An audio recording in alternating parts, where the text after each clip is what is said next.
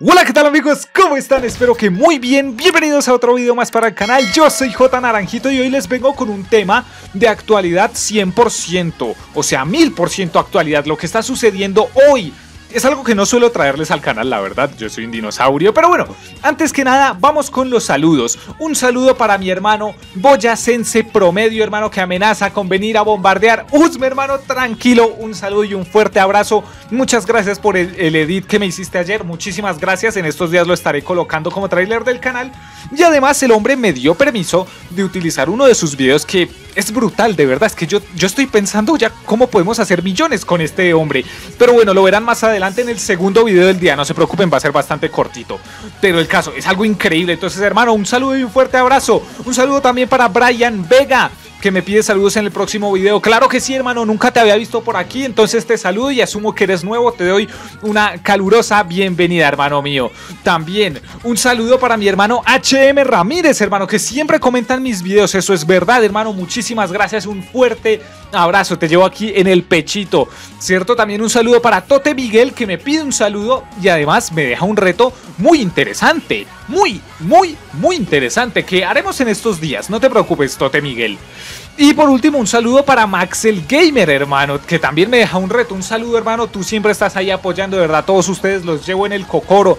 Y además, un saludo y una calurosa bienvenida para todos aquellos que vienen nuevos al canal. Es una cosa impresionante cómo estamos creciendo en estos últimos meses. De verdad es increíble. Entonces, eh, espero, que, espero que les guste el contenido que hago. Espero que no los decepcione. Espero que les guste. Y nada, hermanos, muchísimas gracias por unirse aquí al canal de J Naranjito. Y bueno, ahora sí vamos con lo nuestro. Como muchos de ustedes sabrán, a mí no me gusta demasiado Call of Duty Warzone, me parece un tanto repetitivo, es más, en sí la mecánica de Battle Royale nunca me ha llamado demasiado la atención por eso mismo, pero es Call of Duty, por lo que me importa y me importa mucho. Y es que a día de hoy está en un estado crítico. Todos sabemos la situación de hackers en la que el juego se ha visto sumido desde su salida, pero el punto al que hemos llegado ya es límite. ¿Qué ha ocurrido? Más de un millón y medio de personas confirmadas están sueltas por Warzone, están sueltas por Verdansk usando trampas, usando hacks. Bueno, no, hacks no como tal, pero, pero ya les explicaré más adelante. Están pillando a los mejores jugadores del mundo utilizando estas trampas y ya han caído muchos. Se defienden con argumentos falsos. Están cayendo como moscas los más grandes. Déjenme explicarles esto. Las ratas, porque no hay otra manera de llamarlos, bueno, quizás capitalistas también, pero eso es otro tema. Las ratas han creado sistema de hacks indetectable, el primero. Además, para consolas, hermanos, para mando, amigos míos. Esto es algo histórico, la verdad y en breve va a estar al 100% de su capacidad. Lo peor es que durante el fin de semana pasado estuvieron gratis para cualquiera. Increíble. Pero lo más increíble es que Activision no hace nada, no se ha pronunciado, le da igual, no se inmuta. Eso es impactante. La situación actualmente es insostenible. Les voy a explicar cómo funciona esto. Se llama Cronus Zen o Cronus Match no sé cuál esté funcionando ahorita. ¿Y de qué va? Es un hardware, específicamente un pendrive, la USB de toda la vida. ¿Y qué tiene de especial esta USB? Que tiene un montón de comandos hechos para tu mando de consola, que hace por ejemplo que tus armas no tengan retroceso, que tu ayuda de tiro se incremente más de lo normal, tiene, por ejemplo, movimientos avanzados preprogramados como el sprint o cosas así del estilo. Lo peor es que esto no es un hack, es un hardware, es un aparato físico que modifica las directrices del mando normal, por lo cual es indetectable. A día de hoy tiene más de 2 millones de ventas. Están agotados. Y ustedes dirán, bueno J, pero si es indetectable, ¿cómo se sabe esto? Bueno, hay un software que acompaña a este hardware, evidentemente, para que funcione como los drivers de toda la vida o algo así. que se compran por 15 dólares para que te funcione el hardware, evidentemente. Quisiera yo haberme inventado esto y hacerme así de rico. Y es por ese software que sabemos que hoy en día hay más de millón y medio de personas usando esto. Entre ellos de los mejores jugadores del mundo, de los que están catalogados como la cara de Call of Duty. Es una cosa, la verdad, asquerosa ya no podemos confiar en nadie. Bueno, en nadie no. Todos tenemos ese youtuber de confianza por quien metemos las manos al fuego. Si para ustedes soy yo, muchas gracias por ese voto de confianza. Pero es que yo no soy un youtuber de Warzone, entonces no tengo la necesidad de... de no me meto en ese bulto a decir verdad. Esa gente que disputa torneos, esa gente que es la cara del Call of Duty competitivo hoy está manchada. Está untada por todo esto. Y si ellos están salpicados, ¿quién no? Durante estos meses se han descubierto muchos casos de, por ejemplo, récords mundiales que se descubrieron usaban VPNs para manipular el matchmaking y que los rivales con los que los emparejara fueran mucho más fáciles. O sea, ya no solo esto, sino que los pillan usando estas trampas, amigos míos. La asquerosa, deleznable y despreciable infección que son los hacks y las trampas nos están invadiendo con más fuerza que nunca. Y mientras tanto Activision no hace nada. Bueno, nada entre comillas, ya que en estos días se desató una polémica bastante fuerte. ¿Por qué?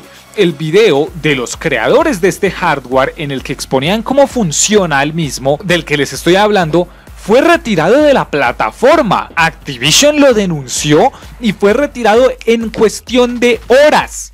Además del canal entero de los creadores de este hack. Ustedes dirán, todo bien, ¿no? Eso es lo que debe pasar siempre. Sí, pero no.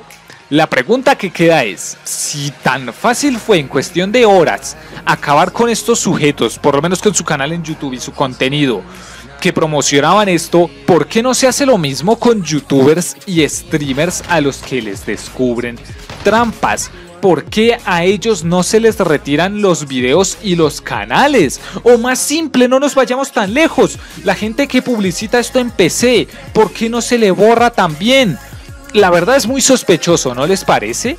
Yo siempre me he resistido a la idea de creer en esta mafia que hay en Activision que mete hacks en sus propios juegos para ganar cada vez más dinero. Pero Ah, es, difícil no verlo, es como que hay un elefante en la maldita habitación.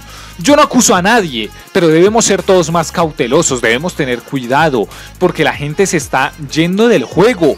Yo desde hace meses ya estoy emancipado de Warzone y la verdad hemos sobrevivido muy bien subiendo Call of Duty antiguos. Es más, yo no diría sobrevivir, el canal está creciendo a un ritmo descomunal para tener los números que yo tengo. Pero, exceptuándome a mí, la gente se está yendo. Cada vez se están saliendo más. Las cifras no engañan. Esto es como el algodón, amigos.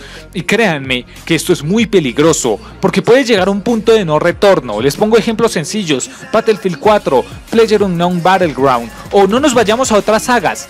Eh, vamos a Call of Duty World War 2, eh, Infinite Warfare todos ejemplos de juegos a los que, aunque arreglaron posteriormente, no lo hicieron a tiempo y el juego murió en el olvido. Hoy, por ejemplo, Battlefield es la mejor experiencia de guerra moderna que puede ofrecer la saga Battlefield.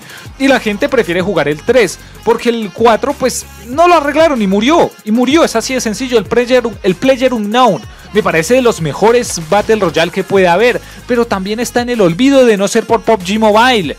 Eh, de verdad, la gente ya no va a volver. Amigos, yo soy fan de la saga Call of Duty, creo que se sabe de sobra que soy de los más acérrimos. Pero ya no nos podemos fiar de nadie. En todo lado, en España, aquí en Latinoamérica, en Estados Unidos, en toda la comunidad internacional, están en todos lados, hermanos. La comunidad está manchada. Mi único mensaje es protestemos. Protestemos, carajo.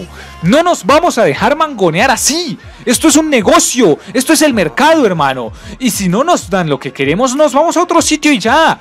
Si quieren irse a Call of Duty Mobile, a PUBG, a Apex, a Valorant, a Fortnite, a Battlefield 2042, que espero que ya salga. E incluso, si quieren irse a Free Fire, pues váyanse. Vayámonos, por favor. Dejemos el juego, hundamos Warzone, demostrémosle a estos capitalistas desgraciados que nosotros también sabemos cómo funciona esto. Nosotros sabemos qué hacer con nuestro dinero y si no nos ofrecen aquí la calidad a la que nos tenían acostumbrados, pues nos llevaremos nuestro dinero a otra parte. Es así de sencillo. Yo me quedo en los Call of Duty clásicos porque esos son los juegos que de verdad me despiertan pasión es lo que quiero jugar y lo que quiero aprender y lo que quiero ver en mis plataformas, en YouTube, en Twitch, en donde sea. Pero lo de hoy, para nada. Así que dejemos de jugar. Dejemos de ver el juego en Twitch y en YouTube, alcemos nuestro grito al cielo y hundamos este maldito juego. Y como les dije hermanos, yo me quedo en los Call of Duty antiguos porque son los que me satisfacen, pero lo de hoy es un chiste la verdad.